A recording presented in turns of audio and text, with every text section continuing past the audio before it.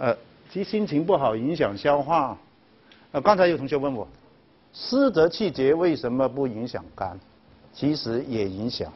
你想想，湿其实是一个我觉得偏中性的，但假如这个中性的湿再加一点点非良性的因素，比如我湿中不是良性的湿，它会影响到肝，就等于说我先有情志瘀，带影响到气机瘀。呃，刚才讲的，比如说五志归五脏，其实是概率问题，不等于这个五志归五脏之后，它不侵犯其他脏，只是概率相对低一点，它是这样归的。呃，这个就是逍遥散，肝气犯脾，逍遥散。呃，这里可以产生水湿痰饮的。呃，另外还有一种急性肝气犯脾。什么叫急性肝气犯脾呢？一到考试，精神一紧张就想上厕所，精神紧张，说你这个心情郁郁闷闷不乐，你还可以加一句啊，精神容易紧张也是肝气郁结的表现。我这里还有，其实这里还有一句话，刚才没写上，喜太息，太息就叹气，你为什么喜欢叹气？你干不干气郁结吗？你至少叹一口气，是不是会出来一部分？觉得舒展一点点，气往上升出来的哦。好，假如是范围，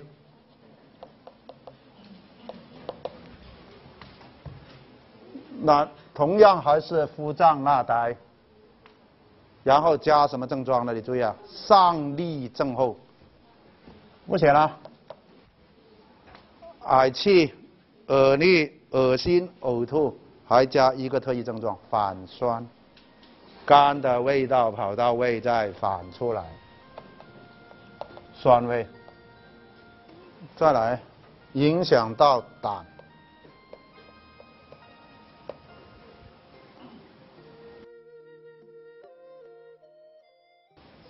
你注意啊，胆的作用是储存跟排泄。胆汁，胆汁干嘛的呢？胆汁是分泌到小肠，帮助消化。消化哪类东西呢？消化脂肪类东西，脂肪类食物。但你注意啊，那刚才的调畅气机，我强调它是升。其实肝主疏泄，促进胆汁分泌是降。六腑以降为用，整个六腑你看从食道到胃到小肠大肠一直降下去的。胆汁也是降到了，呃小肠，然后帮助消化。你说跟肝的疏泄功能有没有反呢？没有反。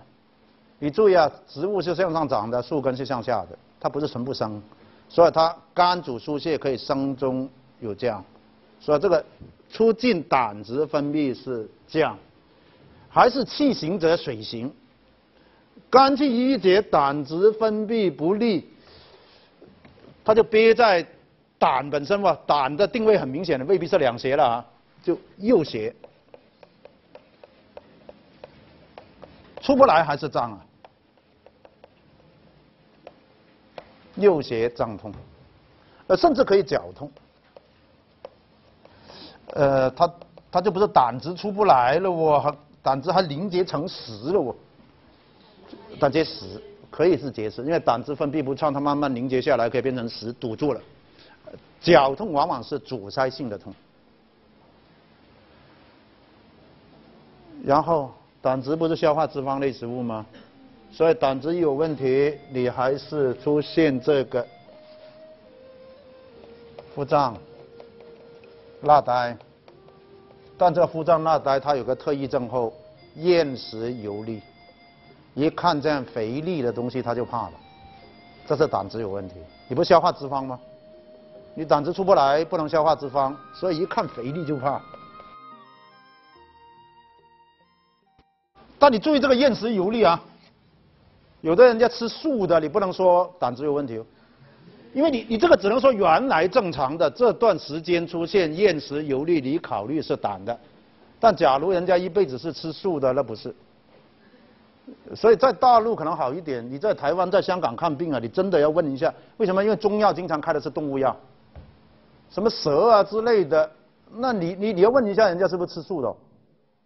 只要他吃素的，他长期胆汁都不分泌的，都他对这种东西没法消化吸收。你你你那个动物药一进去，可能他就有反应的。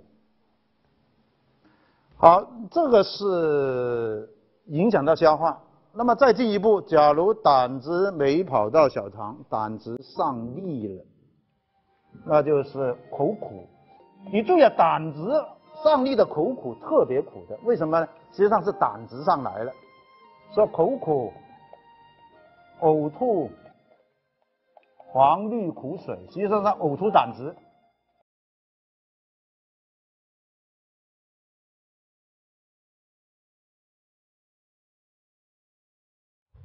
这是胆汁上逆，口苦、呕吐黄绿苦水，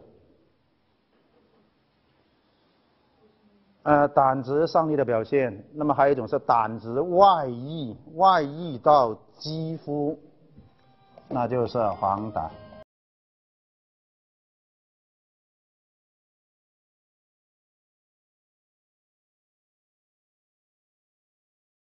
黄疸是三黄啊，木黄、生黄、小便黄。呃，但现在我觉得在这里可以借助西医诊断，比如说做些血液分析，因为有时候你说木黄、生黄、小便黄，其实很明显的了。有时候我们肉眼看不出来，但做你你做血液分析，有时能看出一些指标改变。这个导致西医的一些诊断指标可以某方面帮助肝中医的诊断。那这是影响到胆的。那么最后一个，促进男子排精、女子排卵跟来月经，还是差不多那个意思。精是液态的。气行则水行，也得注意，它这个输输泄方向也是向下。呃，促进女子排精，其实在刚才促进血液运行讲了，剩下就是男子排精，女子排卵。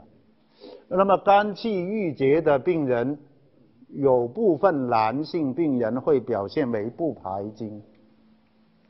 呃，你注意啊，他不是没有精哦。他往往是，比如平时手淫呢，他是梦遗啊，可以有精，但是真正性生活的时候排不出来。呃，只要从西医角度，它大概是属于心理障碍的一种。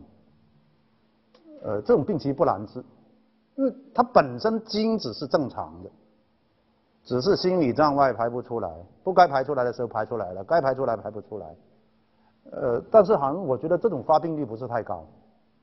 为什么我刚刚讲的是男性？男的，男属阳，阳主动，得气容易怒，发出来了。女的多见，女属阴，阴主静，得气容易瘀。呃，但是它表现就是影响排卵。呃，那个影响排卵，那好像从直直接看，没有像男子排精症状那么明显。它的影响是有点潜在的，表现在哪里呢？比如妇女结婚之后，阴差阳错又没有采取任何避孕措施，但是有两三年没有怀上，那就麻烦了，全世界都来关心你，献方献策，越献方献策，你压力越大。感觉生不出来，对不起全世界。精神压力越大越没用。实际上，这应该说排卵有点乱。呃，这类病人其实也是这样，你检查一下生殖器官各方面没啥问题。实际上，基本上是生殖系统是正常的，只是心理压力太大导致的。这种病好治，只要你明白是这个机理。很简单呐，跟他讲清楚，把家人叫来讲清楚，来点疏肝解郁的药物，很快就好了。所以这个很多送子观音就这么来的，没那么难呢。相相当比例的女的那个不认，是这个东西，不见得是完全那个呃，中医讲的肾精虚类型。因为中医肾精虚类型类型是相对难治的，所以很多是压力造成。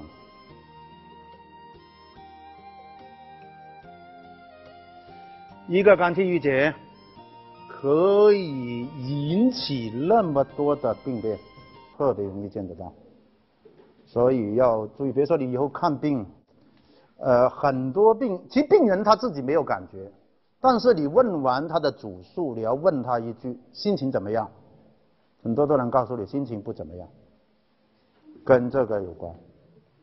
还有你看，他往往会连引起很多连锁反应的。所以学医的人，你说你现在没机会对付病人，你先对付好自己的。是啊，有什么东西该想开一点。我我没有叫你想开很多啊，你也做不到，是吧？比如说有个心理包袱，有一百斤，你说我一百斤放不下，你放下二十斤也好，剩下八十斤你愿意背就背呗，至少会减轻一点。所以每天早上起来给自己一个良性心理暗示，今天感觉良好。尤其早上啊，早上是肝气舒展的时候啊。这里早上肝气都不舒展，你一天你完蛋了啊！这两个都是黄疸，不不需要解释了。呃，那边那个更明显，那个那个铁定是阳黄了，这黄色鲜明如橘子的颜色，这个好像也也不太像阴黄，只是黄的没那么明显，因为阴黄是黄的来像烟熏，很暗的。呃，肝藏血这个功能。最有可能是来源于解剖的肝，就是那个肝脏。你看肝脏的外观是红褐色的，为什么红褐色呢？血容量很丰富，它的血流量大概是相当于四分之一的心排出量，每分钟在经过肝的血流量大概一千毫升以上。血容量非常丰富，所以这是肝藏血的一个前提。你看肝藏血还有一个作用是防止出血，而解剖的肝，呃，体内很多凝血因子的合成主要场所就是肝，所以体内那个凝血跟抗凝血这两个系统相互之间的平衡，在解与解剖的肝有关。呃，古人。解剖的肝不见得解剖的像现代那么细致，但是这种大体功能跟血循环的功能、跟凝血功能的相关的一些东西应该还看得到，所以我觉得这是它的基本功能来源，当然还加上中医的一些自己的内涵。呃，我们先讲容易的，第一个，先讲容易，从第二个开始讲，调节血量。那肝就像一个血库一样，储藏血液。储藏血液的目的干嘛呢？调节血量。呃，怎么调节法？一动一静。呃，黄斌解释《黄帝内经》一句话就用了这个概括：人动则血运于诸经，人静则血归于肝脏。换句话来讲，人活动的时候。比如说，我们四肢需要血，我们情绪激动需要血，肝的血就放出来，供人体利用。怎么放出来呢？刚才那个功能，肝主疏泄，气行则血行。好了，安静的时候，血就回流肝脏。呃，可能有同学问，你肝不是主疏泄的吗？疏泄向外走啊，它怎么能回流肝脏呢？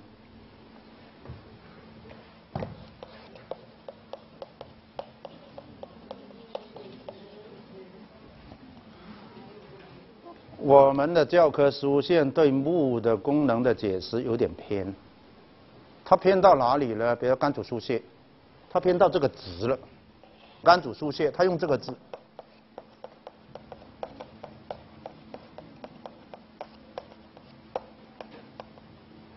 木月夫和，我觉得这种好像更理想。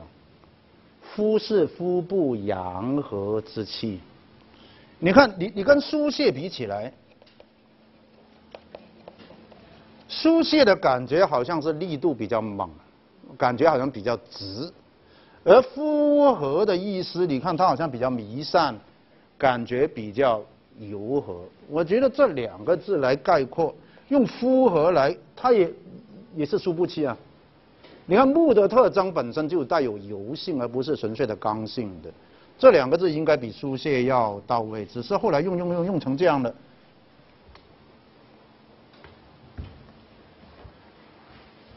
好，这里有什么意义呢？对你们特别有意义。晚上不睡觉，人静则血归于肝脏。什么时候血归肝呢？丑时。几点钟？一点到三点。所以我不管你怎么闹腾啊，丑时前睡觉，血归肝。为什么？那你你看看，呃，比如肝炎病人，很注意叫他休息。为什么呢？休息的时候，血回流肝脏。呃，就是我就从西医解剖角度、生理角度，血回流肝脏，尤其是你卧床的时候。肝脏血流量增加百分之大概二十五，那么血回流肝脏，血里之中的营养成分就回来营养肝细胞，你不肝细胞受损了，所以肝病病人休息不好，你吃什么药都好不了。那没有肝病的病人，你血不回流肝脏影响什么呢？睡眠。啊，为什么呢？这里有一个教科书没讲的东西，魂。肝肠魂，魂跟睡眠有关。这个魂跟靠血来养，你血不血不归肝，就是血不养魂，血不养魂，你不魂不守舍吗？